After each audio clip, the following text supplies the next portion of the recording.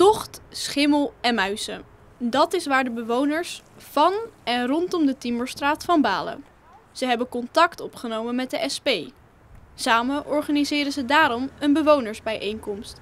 In de hoop dat de woningcoöperatie Levier het een en ander gaat veranderen. Sommige bewoners geven aan dat er al 15 jaar geen echt groot onderhoud is eh, gepleegd in deze buurt. Eh, dat er wel klein onderhoud is, soms een beetje plak- en pleisterwerk. Eh, maar dat vooral het tocht en de hoge energierekeningen ja, voor heel veel bewoners een, een grote last is.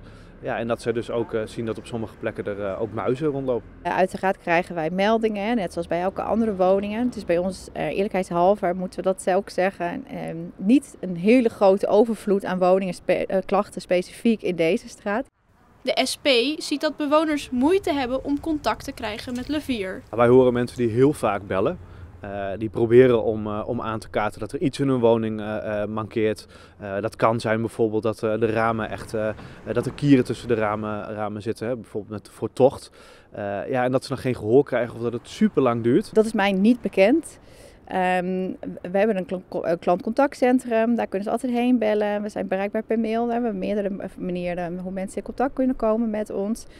Um, ook, ik heb gekeken, wat ik eerder ook al zei, van hoeveel meldingen komen er nou binnen over dit gebied. Um, daarin is ook niet meteen iets opvallends te zien van hey, er, er komen heel veel meldingen binnen, maar er gebeurt niks vanuit Levier.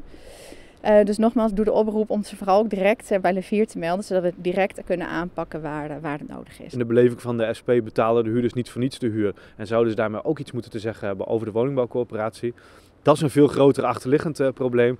Uh, maar laten we er eerst voor zorgen dat Levier netjes de huurders uh, terugbelt als zij daarom vragen. En dat deze wijken worden gerenoveerd. Met de bewonersbijeenkomst wil de SP dat de wijkvernieuwing zo snel mogelijk van start gaat. Nou, wij zien ook, uh, volgens mij ziet iedereen dat er in de samenleving grote tekorten zijn aan materialen, maar ook aan, uh, aan personeel. Maar daarom zeggen wij, want er moeten in heel veel wijken en buurten in Groningen uh, moeten gerenoveerd en geïsoleerd worden, zodat mensen een betere woning hebben, maar ook dat hun woning beter geïsoleerd is en ze dus een lage energierekening krijgen. Dus ja, het moet zo snel mogelijk. En wat de SP betreft beginnen we dan in Paddenpoel en de Indische buurt. Ik hoop dat um, in dit geval de SP samen met de bewoners echt kijken van hé, hey, waar zit het waar zit bij de woningbouwvereniging, wat kunnen wij er zelf aan doen? Als we kijken naar schimmelproblematiek bijvoorbeeld, hebben we ook gezien in de Palembankstraat. Daar hebben we echt inspecties in de woningen gehouden. Om te kijken van, hey, is het een, een technisch mankement in de woningen? Zo ja, dan passen wij dat aan. Dan gaan we kijken wat wij daar als woningbouwcoöperatie Levier aan kunnen doen. Uh, is het niet het geval. Het kan bijvoorbeeld ook zijn dat het een kwestie is van ventileren in de woningen. Dus ik hoop ook dat, dat, dat dit soort dingen te sprake komen tijdens de bijeenkomst.